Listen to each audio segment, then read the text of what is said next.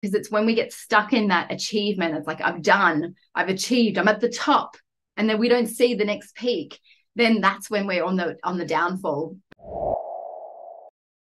So we might think that our personal and professional development journey should be this like upward trajectory journey week by week month by month year by year that we go on this linear path. And then we get up to the top and we turn back and we look around and we think oh yeah okay i've had this uh, lots of growth and lots of transformation. But if it doesn't happen with our finances and we can go on this, what seems to be sometimes like a bit of a rocky road, but we eventually go up, then we're also going to have to appreciate that that also happens inside of our professional growth as well and our personal growth as well. So, first of all, let's just define what stagnant growth is. So then you can say, yep, that's me. I feel like that's me at the moment, or I've been there in the past. And so it's this period of time where we have little to no growth it's this uh, plateau that we experience where we we stop asking quality questions where we know say with the Demartini method which is what we focus at maximum growth having you to ask quality questions you stop asking those questions you you focus maybe if we have the being doing and having aspect the being doing and having we focus too much maybe on the do on the being and we just like be and but then there's no effort to shift or change. There's no doing and have and um, there's no doing aspect that kind of gets cut off. And so maybe some of the language you might say to yourself is like, I'm too old to change. That maybe doesn't apply to some of you because you're like, no, or uh, but maybe it does. There's like, uh, but I've I've done things this way for so long. It's the the effort it takes to go and change is so great or the effort to go and learn something new is too much i just going to keep in that comfort zone and so what we can also notice is that we we we lose that sense of curiosity you know what you love about like a child where they they're just curious to learn and learn more and ask questions but why but why but why and so that childlike curiosity can can have a tendency to um, dissipate as we become more stagnant with our growth. And so we become too much in a way of creature of habit. One of the things that we keep on doing is we keep on doing the same thing and then expecting a different result or hoping for a different result, but not doing anything different.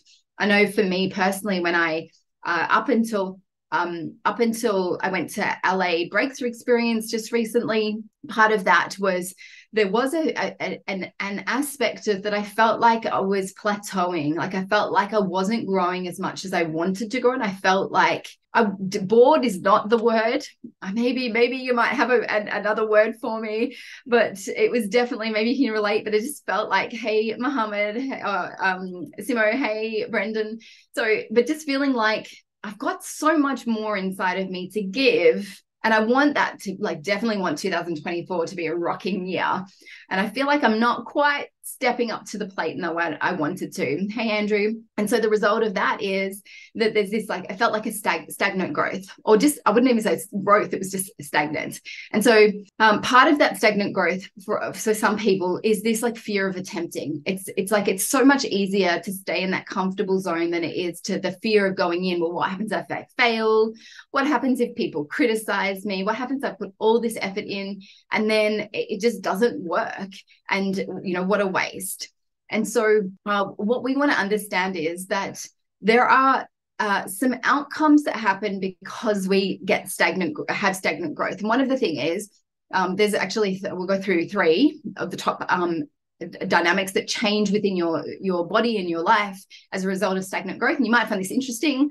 Uh, and and that is a reduced cognitive function. So I don't know if you know this, but they have a 75 year study that found that less uh, um, development correlates with a weaker or less like development in someone's life correlates with a weaker cognitive function later in life which means that you've got more potential for depression um, more vulnerability vulnerability of like a cognitive decline. So as we challenge ourselves because with that challenge requires us to think differently requires us to stretch our brain requires us to you know um, myelinate our brain in different ways. And so we're thinking and um, we're growing as opposed to decaying inside of our um, our cognitive function. So that's one of the upsides then of continually grow growing. Another challenge that happens when we stagnate with our growth is that we can never have poor poorer quality. So essentially, it can be this uh, poorer quality of life because we've stagnated, which means we've maybe stagnated and we're not moving as much as we want to. We're not career developing ourselves. We're not wanting to develop in our intimate relationships, maybe with our spouses. And so that results in more isolation, uh, less fulfillment, which changes your physiology, less movement, which your body gets stiff and sore and you're standing up just as an effort. And so, of course, that's going to lead into poorer quality of life um, and poorer health. And then, and let's just face it, like the overall, if we stay in that stagnant growth, it's just a, a poor, like a, a decreased satisfaction in life because what happens is if we don't have that spark and fulfillment and we're not challenging ourselves, but we're doing what's easy, we do what's easy over and over again it's there's not that that um well there's the sense of boredom which maybe we end up doing more immediate gratification do things that are just right now what's going to be pleasing for me rather than pushing ourselves um, and stretching ourselves. So uh, there are some kind of dynamics around stagnant growth. And so, why would we want to have growth in our life? Why would we want to have a different mindset around growing? And essentially, is if you know we have if we can if we can focus on this like ever dynamic and ever evolving life because that's what it is life is constantly moving and there's growth there's motion and growth in life But so we also want to have that as well. We're not like the whole nature is not growing around us and moving around us and we're like i'm going to stay the same. I'm just going to stay here and hopefully nothing you know and everything else can change around and we want to grow with it. We want to move with life. And so if what we want to do is kind of shift our mindset to have more of that growth growth mindset. Now, uh, if we if we if we do a little bit of like um, a psychology theory, so there's a man and his name is um, Erik Erikson, and so he does the he actually has eight stages of development that that an individual would go through and I'm not sure if you're aware of this, but I mean, the first is like trust and mistrust, which is that infant years, and then it's autonomy and shame and doubt. Or as the next one, it's initiative versus guilt with that toddler stage or preschool stage. And so we go up in our development. Normally, the, the 20s and 30s is around intimacy or isolation. It's like uh, because we're forming relationships and family. And then we get to that point where it's like uh, being able to uh, have our like focus on the bigger wider community or we or we stagnate. And so there's this this kind of 40 to 65 is that period of time where we can find ourselves going into that stagnation. And it's actually uh, what he described as one of the developmental stages or it's actually where people get stuck I personally find um, when working with a lot of people and what we focus in at maximum growth is there's a there's a um, the teenage years between 12 and 18 is where you're you're you're forming your identity or you have confusion. And so during that really formative years, if people don't have a strong sense of identity, they get stuck. And then even in their 60s, they're still trying to figure out, God, I don't even know who I am, or I've just found out who I am for the first time, or expressed who I am for the first time and it's like now just kind of growing through that that developmental stage so we can also have that when we get to that uh, stage seven which is like um, that generative um, stage versus stagnation stage. And so we're either generating and building and growing or we stagnate. And so what we want to essentially do is there are a few things that you can do to kind of switch so that you get into a growth mindset or into a um, growing stage rather than stagnating. And one would be the first one, I can't go without it because that's what we're all about here at Maximum Growth, is really about that growth mindset. And you've probably heard it a million times before. Yeah, Tanya, I know what that is. Um, but that, but but to know it and to live it are two different things. To know it and then implement it in times where you stagnate is a very different kettle of fish because we want to employ we want to employ it into our daily habit, into our life, into our mindset, which is why we do classes with you each and every week of that laying that foundation. Because sometimes when we go through challenge or we go through um, some some difficulties in our in our life we can revert back to our old way of thinking and we forget to have a growth mindset. We just go back to our like an operating system that's here and we're like oh hang on i forgot my train i've got my training. And so eh, it's it's it's kind of like the the moment where someone's uh you know not not breathing and you go into freeze response because you're like i don't know what to do and you've forgotten your all your your training that you've done to do resus. Um, and so we want on those moments to be able to have our growth mindset. And so that part has growth mindset has embracing change. Change is happening around us all the time. And so we want to have an, a, will, a willing and an adaptability to change with what's going on. Uh, an example for uh, at the moment is like AI is really big. Hey, Justin, you know, AI is really big in in say and growing in business. And I saw this really funny skit the other day on Instagram, which I, I, sent to so many people because it just made me laugh with tears rolling down. And it was this idea that, uh, you know, in in our generation, uh, when we become old and we're in our, you know, 80s and 90s, we'll be uh, our grandkids will coming home with a robot, and we're like, you can't marry a robot. But times have changed. I mean, people are having relationships with um, different different um, uh, like non people and so and people are having relationships over the internet and they're actually seeing each other. So things are evolving. And so so it says for example ai and so we want to embrace change instead of kind of resisting it because resisting it means we're in a sense also stagnating and not moving with the times which is also kind of why I really loved. I put a post out recently of uh, Demartini on on his phone because I was like, "Great, good on you, good on you for being able to like be progressive and get up with the times, even though you're like, I haven't had a phone in X Y Z years." And now he's like being progressive. So it's about em- embracing embracing change. We also want to be um, able to, as our growth mindset, we want to be able to um, foster like an ability to continually to learn because what keeps us stagnant is us going, nah, I don't want to learn. I've kind of had enough. I don't want to put that learning inside of me anymore. I've just, I've had enough. I'm like learning fatigue. And it's like, how can we spark that back up inside of you so the stagnant growth shifts and changes? And then you can get back into the game again. So it's like, what could you do to cultivate that learning, that learning streak inside of you? And then also just uh, our ability to adapt uh, to adapt to the changing environment is is um, in, is um, also really important. So that's one our growth mindset. The second aspect, in order to shift from our stagnation, is find your flow. And so what I mean by that is uh, we can have moments where we are and I'm sure you've had it in your life, and maybe they've been brief and fleeting, or maybe they come um, maybe a little bit more often for you but just those times where you just feel like in flow. I mean, how else do you describe it? Where you just feel like so connected. If there was a greater, higher source, like connected in with that, you feel like there's this intrinsic motivation because it comes from within, and you are just able to uh, connect with whatever it is that you're working on or doing, whether it's in the state of writing, speaking, helping someone, doing your your service but that it's like how do we how do we shift you if you're having stagnation into that finding flow again? Like sometimes it's like doing a life review and what are the moments that have helped you to find flow and how do we cultivate more of those moments? Because that's it's going to be like one say behavioral change that you can do that can then get you out of that stagnation because you're just putting yourself in. If you know for example speaking in front of people is going to get you into a flow. And uh, you haven't been because of for whatever reason you've been hiding away from the world. Okay great. Get yourself out in front of people and start speaking and then allow that to flow and then allow yourself to kind of like connect back in again and then let that as a result the stagnation starts to dissipate because you're doing more of the things that you love.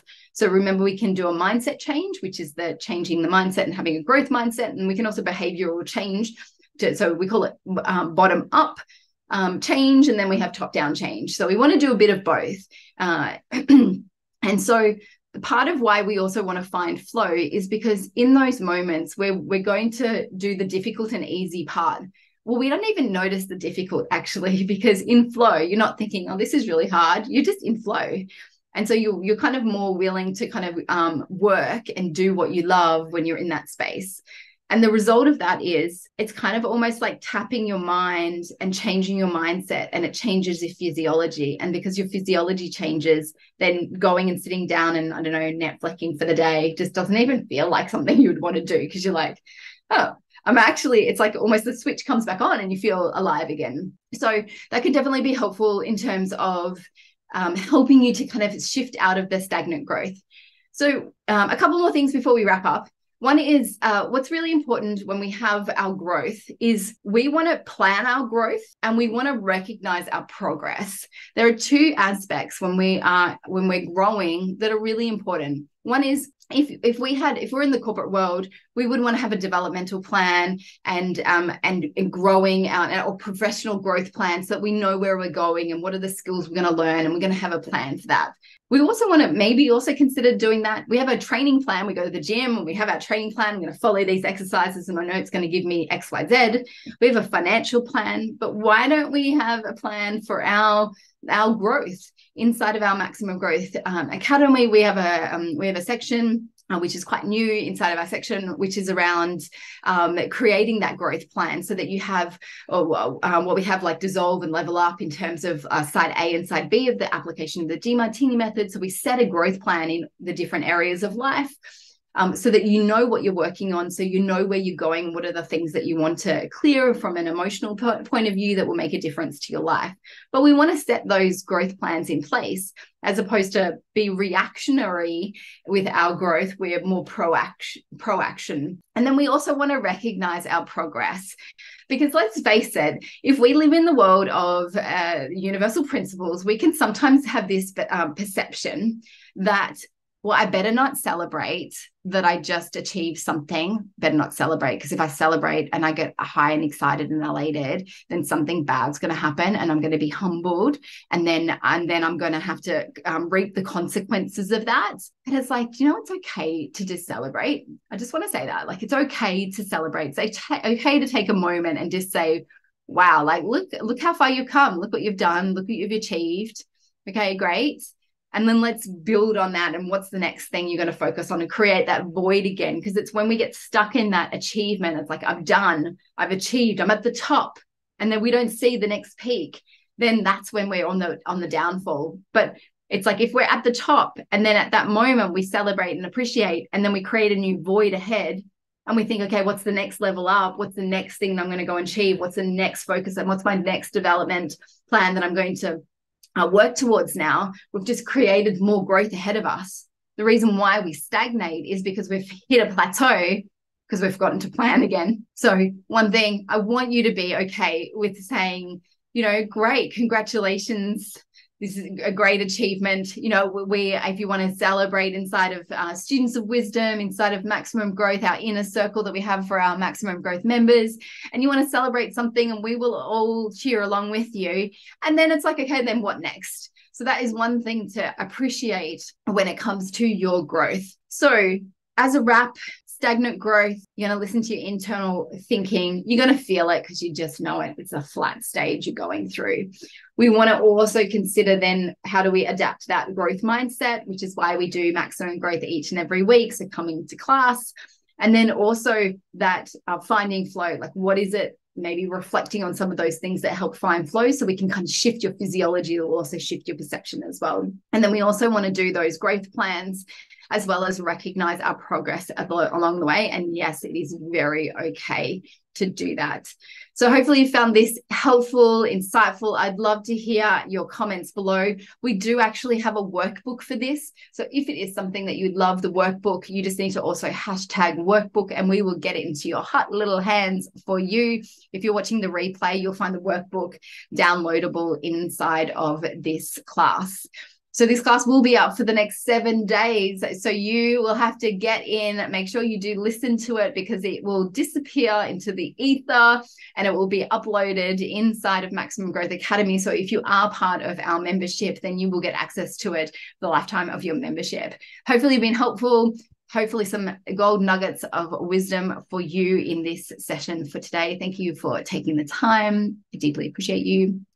All right. So we're also now on to our Ask Me Anything class for today. We have one question, unless there's another question out there and you have something bubbling up inside that you'd love to have a question asked or answered. The first question we have, let me just drop and drag this over so I can read it on the screen. Uh, and the question is Tanya, I started the working on the wealth module in the Maximum Growth Academy, which I love. Um, and um, the mention says I turn my learning into earning and that you create a strategy for courses that you attend. I was wondering if you could provide some insights into what that looked like from a strategy creation process and the thoughts behind this. Okay, so um, I've been a really big believer in uh, figuring out ways to get a return on your investment when you're going to go and do a course.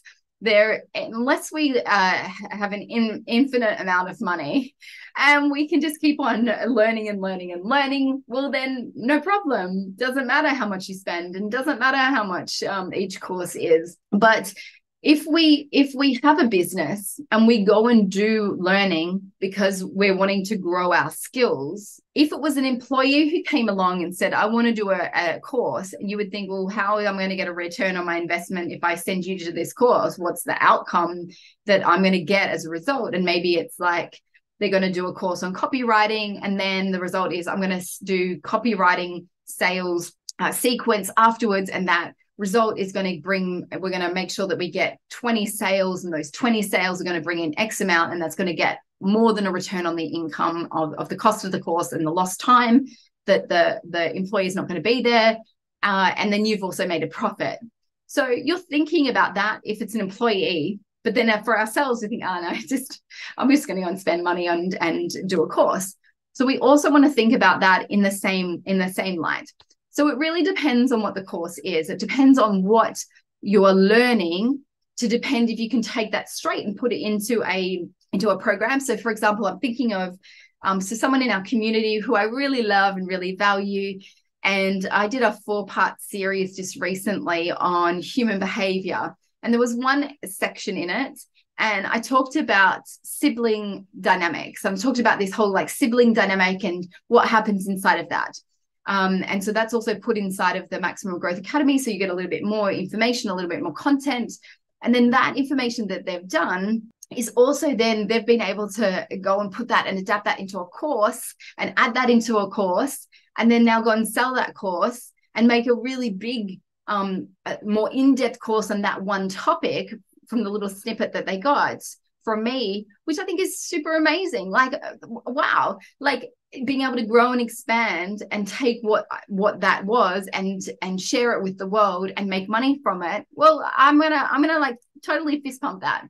And so you want to be thinking about that too. If you're going to go and do say a uh, um, an event and you're going to go and set, spend there you're going to think okay i'm going to set an objective that i'm going to do i'm going to pick up i'm going to have three hot leads that i'm going to convert and um, nurture over the next month and then make sure that uh, it, it, make sure that then I'm going to um, convert them into a sale, and that sale is going to be worth X dollars, and then that because of that, um, I get a return on my my investment.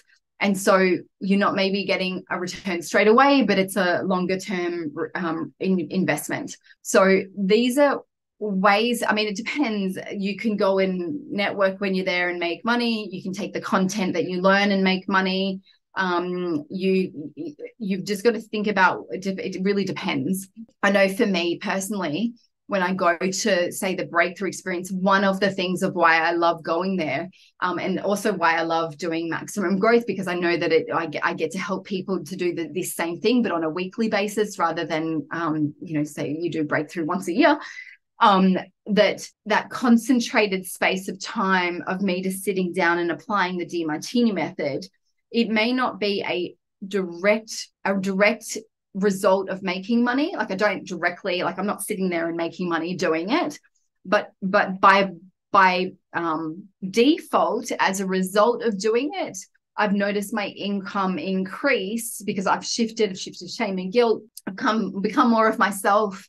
I've um, you know just dissolved some of my subordinations um, I'm living and breathing the work that I share with people. I'm owning and identifying with it. Um, I have really cool stories to share. And so the byproduct of that, so it's not a direct income, but it's an indirect income, results as a, as a, um, from doing the work. So then I noticed that it's not a direct like I've taken the information and made money, but it's more a um, a byproduct of like doing that learning or doing that application that then makes me money. So hopefully that's been helpful if you have been sitting in this idea that you do want to start turning your learning into earning that maybe some of those ideas will help you to start to uh, create your own learning inside of um, the courses and the programs that you do.